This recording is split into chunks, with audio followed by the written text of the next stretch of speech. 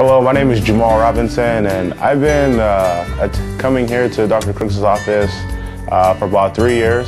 And before I uh, was a patient here, I had braces um, with another dentist, and um, I was a project uh, in the in the making. But um, when I came here, I had some spaces, and um, I had a retainer, so um, I had to always wear the retainer there, and that was a drag for me just because I was broken and just misplaced it. So um, I had consistent spacing in my teeth.